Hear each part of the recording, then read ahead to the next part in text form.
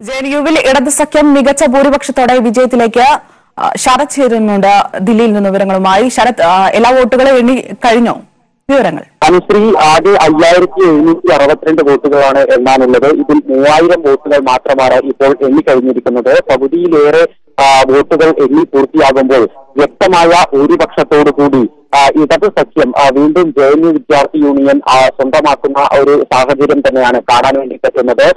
തുടർച്ചയായ നാലാം തവണയും ജെ എൻ യുവിൽ ഇടത് വിദ്യാർത്ഥി സഖ്യം വിജയം ഉറപ്പിക്കുന്ന നിലയിൽ തന്നെയാണ് ഇപ്പോൾ വോട്ടെണ്ണൽ പുരോഗമിക്കുന്നത്. കേന്ദ്ര പാനലിലെ നാല് സീറ്റുകളിലേക്കുള്ള വോട്ടെണ്ണലാണ് ഇപ്പോൾ പുരോഗമിച്ചുകൊണ്ടിരിക്കുന്നത്. ഈ നാല് സീറ്റുകളിലും വ്യക്തമായ ഭൂരിപക്ഷമാണ് ഇടത് വിദ്യാർത്ഥി സഖ്യത്തിന് ഇപ്പോൾ ഉള്ളത്. എസ് എഫ് ഐ ആണ് ഇത്തവണ പ്രസിഡന്റ് സ്ഥാനത്തേക്ക് മത്സരിക്കുന്നത്. ഇടത് സഖ്യത്തിന്റെ ഭാഗമായി എസ് എഫ് ഐ സ്ഥാനാർത്ഥിയായി ഐഷി ഘോഷ് മത്സരിക്കുന്നു. എഴുന്നൂറ് വോട്ടുകളുടെ ഭൂരിപക്ഷമാണ് ഐഷിക്ക്. തൊട്ടടുത്ത ഭാജപ ഫ്രട്ടേണിറ്റി സഖ്യത്തിന്റെ സ്ഥാനാർത്ഥിയേക്കാൾ ഉള്ളത് ഏറ്റവും പ്രധാനപ്പെട്ട കാര്യം ഈ തെരഞ്ഞെടുപ്പിൽ ഇടത് സഖ്യത്തിന്റെ പ്രധാന എതിരാളി എന്ന് അവകാശപ്പെട്ട A B V P president സ്ഥാനത്ത് ഇതേവരെ വോട്ടർ മൂന്നാം സ്ഥാനത്താണ് എന്നുള്ളതാണ് ഏറ്റവും പ്രധാനപ്പെട്ട കാര്യം. രണ്ടാം സ്ഥാനത്ത് ഭാജപ ഫ്രട്ടേണിറ്റി സഖ്യമാണ് പ്രസിഡന്റ് സ്ഥാനത്തേക്ക് ഉള്ളത്. അതുപോലെ തന്നെ വൈസ് പ്രസിഡന്റ് സ്ഥാനാർത്ഥിക്ക് വൈസ് പ്രസിഡന്റ് സ്ഥാനാർത്ഥിക്ക് കൃത്യമായി ആയിരത്തി നാനൂറോളം വോട്ടുകളുടെ ഭൂരിപക്ഷവും ഇപ്പോൾ ഉണ്ട്. ജനറൽ സെക്രട്ടറി സ്ഥാനത്തേക്കും അതുപോലെ തന്നെ ജോയിന്റ് സെക്രട്ടറി സ്ഥാനത്തേക്കും കൃത്യമായ ഭൂരിപക്ഷത്തോടുകൂടി ഇടത് വിദ്യാർത്ഥി സഖ്യം മുന്നേറ്റം തുടരുന്നു എന്ന് തന്നെയാണ് ഇപ്പോൾ കാണാൻ വേണ്ടി സാധിക്കുന്നത്. ഏതായാലും ഇനിയും ഏതാണ്ട് രണ്ടായിരത്തി എണ്ണൂറോളം വോട്ടുകൾ എണ്ണാനുണ്ട്. ഇന്ന് ഏതായാലും ഔദ്യോഗിക ഫലപ്രഖ്യാപനം ഉണ്ടാകുകയില്ല. കാരണം ജെ എൻ യു വിദ്യാർത്ഥി യൂണിയൻ തെരഞ്ഞെടുപ്പുമായി ബന്ധപ്പെട്ട് ഒരു കേസ് ഹൈക്കോടതിയിൽ നിലവിലുണ്ട്. ഈ കേസ് പൂർത്തിയായ ശേഷം മാത്രമേ ഔദ്യോഗികമായ ഫലപ്രഖ്യാപനം ഉണ്ടാകുകയുള്ളൂ. അതുകൊണ്ട് തന്നെ ഈ അയ്യായിരത്തി എഴുന്നൂറ്റി അറുപത്തിരണ്ട് വോട്ടുകളിൽ കുറച്ച് വോട്ടുകൾ എണ്ണാൻ ബാക്കി വയ്ക്കും. അതിനുശേഷം ഈ കേസ് നടപടികൾ പൂർത്തിയായ ശേഷം ആ വോട്ടുകൾ എണ്ണിക്കൊണ്ട് ഔദ്യോഗിക ഫലപ്രഖ്യാപനം നടത്താനാണ് ഇലക്ഷൻ കമ്മീഷൻ എങ്കിൽ പോലും ആരാണ് ജയിക്കുക എന്നുള്ളത് കൃത്യമായി ഇടത് സഖ്യം മികച്ച ഭൂരിപക്ഷത്തോടെ വിജയത്തിലേക്ക് പകുതിയിലേറെ വോട്ടുകൾ എണ്ണിയപ്പോൾ കേന്ദ്ര പാനലിലെ നാല് സീറ്റുകളിലും ആയിരത്തോളം വോട്ടുകളുടെ lead. A B V P president സ്ഥാനാർത്ഥി മൂന്നാം സ്ഥാനത്ത്. വിവരങ്ങളാണ് ശരത് നൽകിയത് ദില്ലിയിൽ നിന്നും. എൽ ഡി എഫ് സ്ഥാനാർത്ഥി മാണി സി കാപ്പന്റെ രണ്ടാം ഘട്ട പ്രചാരണം പുരോഗമിക്കുന്നു. പഞ്ചായത്ത് തല കൺവെൻഷനുകളും ബൂത്ത് തല കൺവെൻഷനുകളും പൂർത്തിയാക്കി ഭവന സന്ദർശനങ്ങളും കുടുംബയോഗങ്ങളുമാണ് നടക്കുന്നത്. അടുത്ത ദിവസങ്ങളിൽ കേന്ദ്ര സംസ്ഥാന നേതാക്കൾ പ്രചാരണത്തിനെത്തുന്നതോടെ തെരഞ്ഞെടുപ്പ് രംഗം സജീവമാകും. തർക്കങ്ങൾക്കിടയിൽ യു ഡി എഫ് സ്ഥാനാർത്ഥിയുടെ പ്രചാരണവും പുരോഗമിക്കുകയാണ്. ചിഹ്നം ലഭിച്ചതോടെ ചുവരെഴുത്തുകൾ സജീവമായി. ഇന്ന് നടക്കുന്ന മണ്ഡലം കൺവെൻഷനോടെ ബി ജെ പിയും പ്രചാരണ രംഗത്ത് സജീവമാകും. പാലായിൽ യു ഡി എഫ് പ്രവർത്തകർ പി ജെ ജോസഫിനെ കയ്യേറ്റം ചെയ്ത നടപടിയെ അപലപിച്ച് മന്ത്രി എം എം മണി. എന്തിന്റെ പേരിലായാലും ജോസഫിനെ പോലെ ഒരു മുതിർന്ന നേതാവിനെ കൂവി വിളിക്കുന്നതും ആക്രമിക്കുന്നതും ശരിയായ നടപടിയല്ലെന്നാണ് എൽ ഡി എഫ് നിലപാടെന്ന് അദ്ദേഹം കൈരളി ന്യൂസിനോട് പറഞ്ഞു. നിയമസഭാ ഉപതെരഞ്ഞെടുപ്പിൽ ഇടത് പക്ഷ ജനാധിപത്യ മുന്നണിയുടെ പ്രചരണങ്ങൾക്ക് ചുക്കാൻ പിടിക്കുന്നത് സംസ്ഥാന വൈദ്യുതി മന്ത്രിയും സി പി എം സംസ്ഥാന സെക്രട്ടേറിയറ്റ് അംഗവുമായ എം എം മണിയാണ്. ഇടതുപക്ഷത്തിന്റെ പാലായിലെ പ്രതീക്ഷകൾ പ്രചരണ രീതികൾ ഒക്കെ അദ്ദേഹം നമ്മോട് പങ്കുവയ്ക്കുന്നു. ആ നമസ്കാരം മിസ്റ്റർ. എന്താണ് ഈ മുഖ്യമായിട്ടും പാലാ ഉപതെരഞ്ഞെടുപ്പിൽ എൽ ഡി എഫ് മുന്നോട്ട് വയ്ക്കുന്ന രാഷ്ട്രീയം? എൽ ഡി എഫ് മുന്നോട്ട് വയ്ക്കുന്നത് ഇടതുപക്ഷ ജനാധിപത്യ മുന്നണിയിലെ ഈ കാലഘട്ടത്തിലെ മുന്നണി അംഗീകരിച്ചിരിക്കുന്ന രാഷ്ട്രീയ പ്രശ്നങ്ങൾ തന്നെയാണ്. കേന്ദ്രത്തിലെ നരേന്ദ്രമോദിയുടെ ഗവൺമെന്റ് ഇപ്പോൾ രാജ്യത്തിന്റെ ജനാധിപത്യ മതനിരപേക്ഷ സംവിധാനത്തിനെതിരെ ഉണ്ടാക്കിക്കൊണ്ടിരിക്കുന്ന വെല്ലുവിളി ജന്മകാശ്മീർ പ്രശ്നം അതുപോലെ തന്നെ ആസാമിലെ പൗരത്വ പ്രശ്നം ഇത് രാജ്യത്താകെ വ്യാപിക്കാൻ പോകുന്നു എന്ന മുന്നറിയിപ്പാണ് കേന്ദ്ര ഗവൺമെന്റ് നൽകുന്നത്. ആ ഗവൺമെന്റിന്റെ നയങ്ങൾക്കെതിരെ സാമ്പത്തികവും രാഷ്ട്രീയവുമായ നയങ്ങൾക്കെതിരെയാണ് നമ്മൾ ഇവിടെ രാജ്യത്ത് ഇപ്പോൾ പ്രവർത്തിക്കുന്നത്. പാലാ ഉപതെരഞ്ഞെടുപ്പിലും ഈ പ്രശ്നം സ്വാഭാവികമായി ഉയരും. കേരളത്തെ സംബന്ധിച്ച് ഇടതുപക്ഷ ജനാധിപത്യ മുന്നണി ഈ കഴിഞ്ഞ മൂന്ന് വർഷം ആകാൻ പോകുമ്പോൾ നടപ്പിലാക്കിയ പരിപാടി ജനങ്ങളിലെത്തിക്കുക. ജനക്ഷേമ പരിപാടി അതിന്റെ വിശദാംശം അതോടൊപ്പം ഇതിനകം വന്ന ദുരന്തങ്ങൾ ഓക്കി ദുരന്തം കഴിഞ്ഞ പ്രളയ ദുരന്തം ഇത്തവണത്തെ പ്രളയ ദുരന്തം ഇതിനെ നല്ല ആത്മാർത്ഥതയോടുകൂടി നേരിട്ട അതിൽ പങ്കുവച്ച ഗവൺമെന്റ് നടപടികൾ പ്രവർത്തനം ഇതെല്ലാം ജനങ്ങളിൽ എത്തിക്കുക എന്നതാണ് ഞങ്ങൾ ഉദ്ദേശിക്കുന്നത്. അതോടൊപ്പം പാലായിൽ ഒരു സവിശേഷ സാഹചര്യമുണ്ട് ആ സവിശേഷ സാഹചര്യം ഇപ്പം ഉയർന്നു വന്നിരിക്കുകയാണ്. കേരള കോൺഗ്രസിനകത്തെ ഭിന്നിപ്പ് അതേ തുടർന്ന് രൂപപ്പെട്ടത് യു ഡി എഫും കോൺഗ്രസും ഈ കാര്യത്തിൽ ഇപ്പം എടുത്തുകൊണ്ടിരിക്കുന്ന നിലപാട്. ഇത്തരം പ്രശ്നങ്ങളെല്ലാം. നിശ്ചയമായി ഈ തെരഞ്ഞെടുപ്പിനെ സ്വാധീനിക്കും എന്നാണ് കരുതുന്നത്.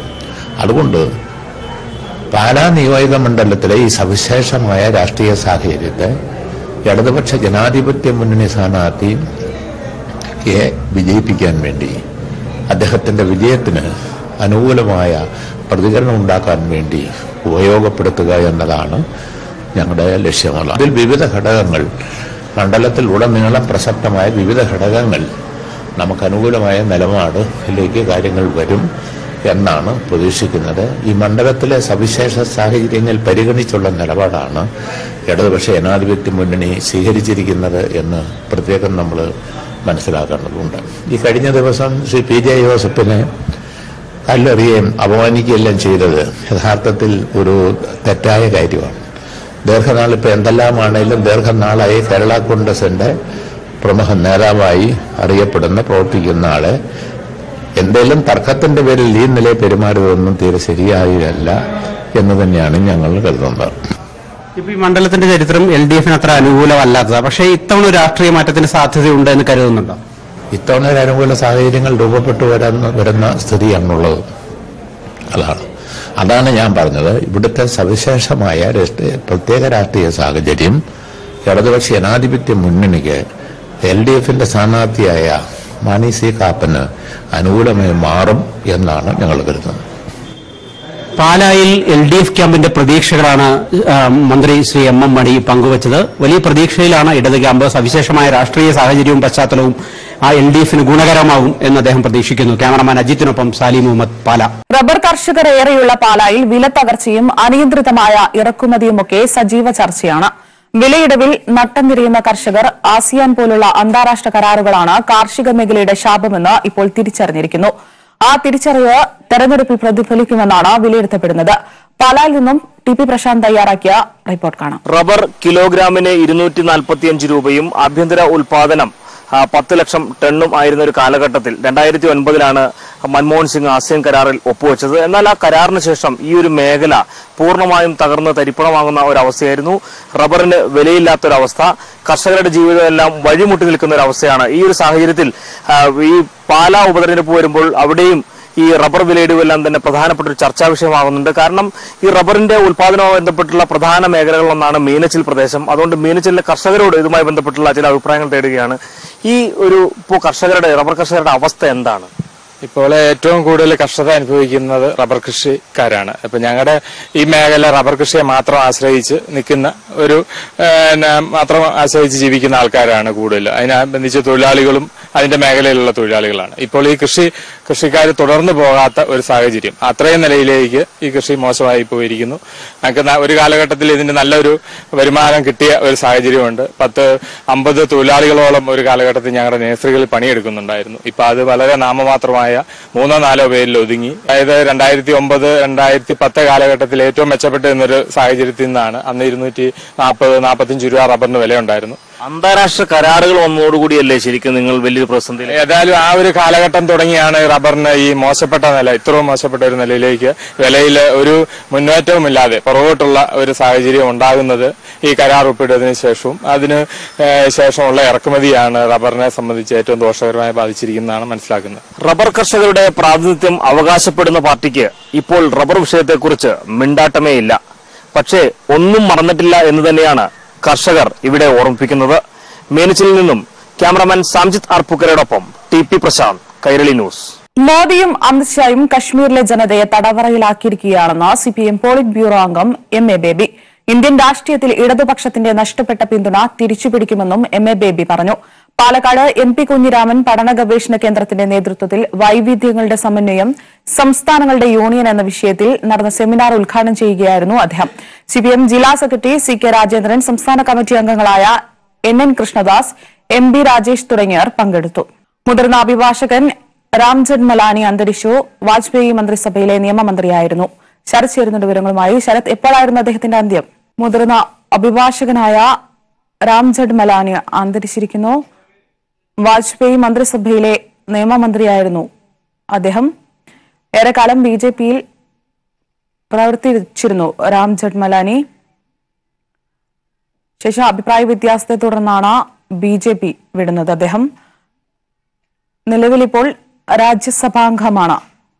കണ്ണൂർ ചെറുപുഴയിലെ കോൺട്രാക്ടർ ജോസഫിന്റെ ദുരൂഹ മരണത്തിൽ നടപടി ആവശ്യപ്പെട്ട് ശക്തമായ സമരത്തിനൊരുങ്ങി കരാറുകാരുടെ സംഘടന.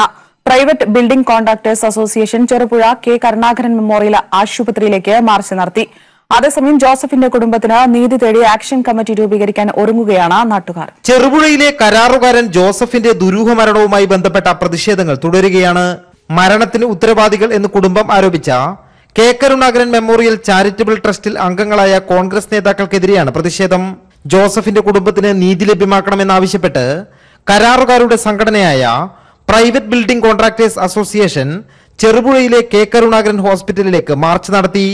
കെട്ടിടം പണിത വകയിൽ ജോസഫിന് നൽകാനുള്ള പണം ഉടൻ കുടുംബത്തിന് കൈമാറണമെന്നും കുറ്റക്കാരെ നിയമത്തിന് മുന്നിൽ കൊണ്ടുവരണമെന്നും അസോസിയേഷൻ സംസ്ഥാന ട്രഷറർ എം എസ് ഷാജി ആവശ്യപ്പെട്ടു.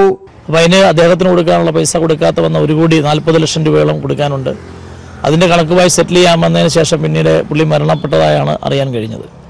അപ്പോൾ മരണപ്പെട്ട് കഴിയുമ്പോഴും അയാളുടെ കയ്യിലുണ്ടെന്ന ഡോക്യുമെന്റ്സ് ഇപ്പോൾ കാണാനില്ല. ഈ ജോസഫിന്റെ മരണം കൂടുതൽ അന്വേഷണം നടത്തേണ്ടതുണ്ട്. അന്വേഷണ സത്യങ്ങളുണ്ടെന്ന് അതിന്റെ പ്രതികളെ നമ്മൾ പൊതുസമൂഹത്തിൽ നിയമത്തിന്റെ മുമ്പിൽ കൊണ്ടുവരേണ്ട അനിവാര്യതയാണ്.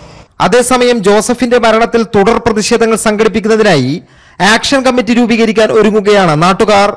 സമഗ്രമായ അന്വേഷണം വേണമെന്നും കുറ്റക്കാരെ നിയമത്തിന് മുന്നിൽ കൊണ്ടുവരണമെന്നും അഭ്യർത്ഥിച്ച് ജോസഫിന്റെ കുടുംബം മുഖ്യമന്ത്രിക്ക് പരാതി നൽകി. കൈരളി ന്യൂസ് കണ്ണൂർ. ഷാർജയിൽ നിന്ന് നെടുമ്പാശ്ശേരിയിലെത്തിയ യാത്രക്കാരിൽ നിന്നും പേസ്റ്റ് രൂപത്തിലുള്ള സ്വർണം പിടികൂടി. കാൽപാദത്തിനടിയിൽ മൂന്ന് പാക്കറ്റുകളിലായി കെട്ടിവെച്ച ഒന്ന് ദശാംശം നാല് കിലോഗ്രാം സ്വർണമാണ് പിടികൂടിയത്. സാലി ചേരുന്നുണ്ട് കൊച്ചിയിൽ നിന്നും. സാലി എപ്പോഴാണ് സ്വർണം പിടികൂടിയത്?